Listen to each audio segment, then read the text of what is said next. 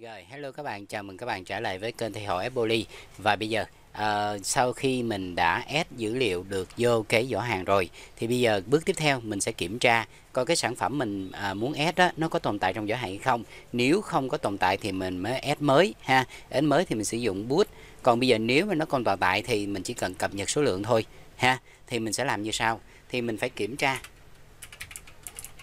Kiểm tra trong giỏ hàng. Đó coi coi có cái sản phẩm này hay không ha. Vì vậy cho nên cái số lượng này nè mình phải quy ra thành số mới được ha. Thì mình pass. Mình dùng cái hàm pass ha. Pass in để mình đổi cái chuỗi này thành số. Rồi ok ha. Rồi bây giờ mình phải kiểm tra trong giỏ hàng thì mình for. Mình for cái giỏ hàng ha. For giỏ hàng từ y là không cho tới uh, cái giỏ hàng của mình tên là giỏ hàng. Đó giỏ hàng len. Thì lúc này mình sẽ kiểm tra này các bạn. Nếu à, nếu mà cái tên sản phẩm trong giỏ hàng mà nó bằng với cái tên sản phẩm này tên sản phẩm trong giỏ hàng là nó sao các bạn? Truy truy cập như thế nào? Ví dụ như là giỏ hàng nè. Đó. Sản phẩm thứ y nè. Sản phẩm thứ y nè. Cái tên của mình là mình để ở cái số thứ tự mấy? 0 1 2 số thứ tự 2 ha. Chỉ một hai. Đó. Chỉ một hai. Tức là cái sản phẩm của nó nếu mà nó bằng bằng với cái tên sản phẩm đó. Nếu bằng tên sản phẩm thì sao các bạn? Mình sẽ cập nhật lại số lượng nha. Còn ngược lại thì thì mới. Ok ha. Tức là mình gặp tên sản phẩm là mình thoát vòng lặp luôn. Rồi rồi nếu mà các bạn tìm gặp được cái tên sản phẩm thì mình cập nhật lại số lượng ha. Thì để cập nhật lại số lượng thì lúc này cái số lượng này nè. Đó, nó nó sẽ cộng bằng ha với cái số lượng trong giỏ hàng. Các bạn hình dung không? Số lượng trong giỏ hàng là ở vị trí số chỉ một số 3 ha. Thì sau khi có rồi thì bắt đầu mình mới cập nhật ngược lại ha. Lấy cái số lượng trong giỏ hàng. Số lượng trong giỏ hàng là ở chỉ một số. 3 ha. Rồi mình bằng với số lượng mới. Đó. Mình bằng số lượng mới này. Rồi ok. Và sau đó thì sao các bạn? Mình thoát luôn khỏi vòng lặp này. Đấy ha thoát luôn.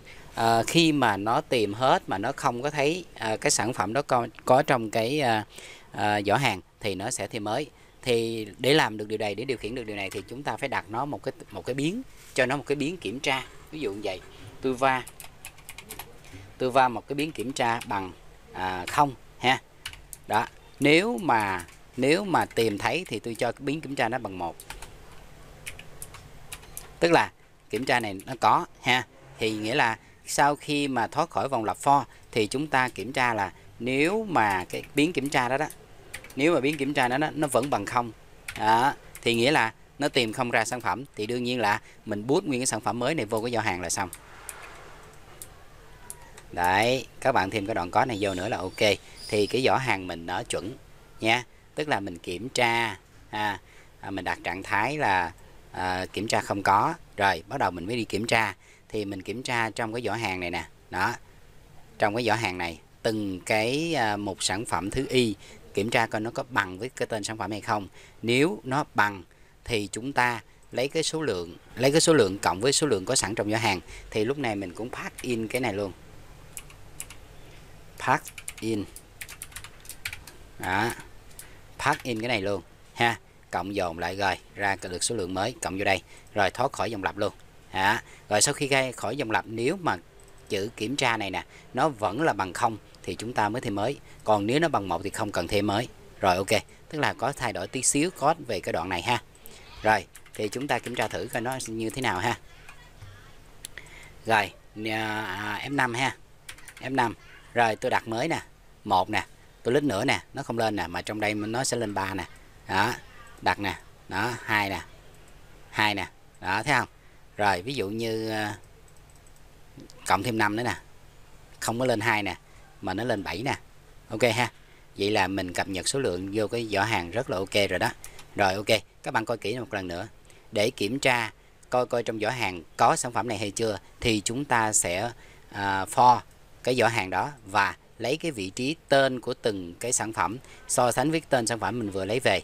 Nếu mà nó trùng thì chúng ta bật cái à, biến kiểm tra này lên bằng một tức là có kiểm tra được ha có sản phẩm trong giỏ hàng. Thì lúc này chúng ta sẽ cập nhật lại số lượng ha. Sau đó thì lấy số lượng này cập nhật ngược lại cái giỏ hàng là xong và mình thoát khỏi vòng lặp luôn. Rồi ra khỏi vòng lặp nếu mà cái biến kiểm tra này vẫn bằng không ha vẫn bằng không nghĩa là mình tìm không thấy cái sản phẩm thì đương nhiên là mình bút một sản phẩm mới vô. Ok ha. Rồi à, bye bye các bạn. Chào tạm biệt và hẹn gặp lại các bạn ở những cái clip tiếp theo.